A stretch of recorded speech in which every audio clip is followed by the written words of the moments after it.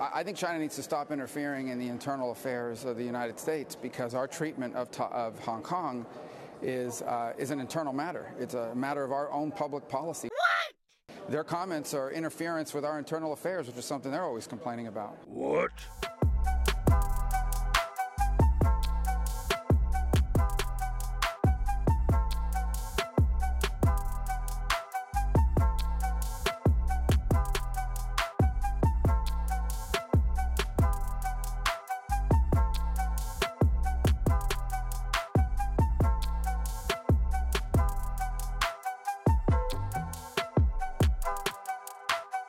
Thank